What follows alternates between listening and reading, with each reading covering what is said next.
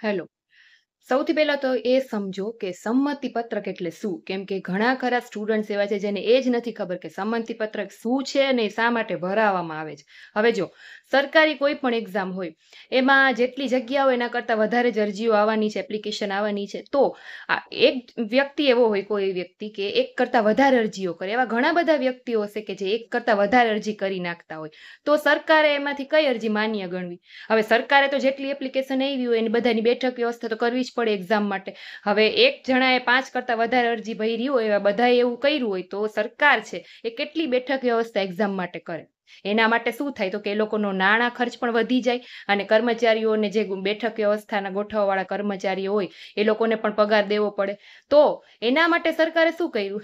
કે તલાટી મંત્રી છે જુનિયર ક્લાર્ક છે, એ બધી એક્ઝામમાં એવું થયું હતું કે એક કરતાં વધારે અરજીઓ હતી, તો બધાની બેઠક વ્યવસ્થા કરવી પડી. પછી આવે કોણ? તો કે જે છેલ્લી અરજી હોય, જે કન્ફર્મ અરજી હોય, એક જ માણસની પાંચ અરજી હોય, તો એ માણસ તો એક જ આવવાનો પણ બેઠક વ્યવસ્થા એની પાંચ થાય. તો એમાંથી કઈ અરજી કન્ફર્મ ગણવી? કેમ ખબર પડે? ઘણા એવા ઉમેદવાર હોય કે ખાલી ટેસ્ટિંગ માટે એપ્લિકેશન ભરતા હોય, એમ એપ્લિકેશન ફોર્મનું ટેસ્ટિંગ માટે ભરતા હોય. તો શું માન્ય ગણવું તો એના માટે આવી બધી પરીક્ષાઓમાં શું કર્યું સરકારે? તો કે સંમતિ પત્રક એમ કે ભરવાનું રાખ્યું, તલાટી મંત્રી છે જુનિયર ક્લાર્ક છે. એમાં શું હોય તો કે સંમતિ પત્રક તમે ભરો એટલે એ અરજી, એમાં કન્ફર્મેશન નંબર નાખવાનો હોય તમારી અરજીનો. તો એ અરજી તમારી એક અરજી છે, માન્ય ગણાશે એટલે એક જ તમારો બેઠક વ્યવસ્થા છે, તમારી કરવી પડે. તો આ છે સંમતિ પત્રક શું કામ ભરવામાં આવે છે તો કે સરકારનો નાણાં ખર્ચ વધી જાય છે. તો તલાટી જુનિયર ક્લાર્ક એવી ઘણી બધી એક્ઝામમાં સંમતિ પત્રક છે ભરવાનું આવ્યું હતું.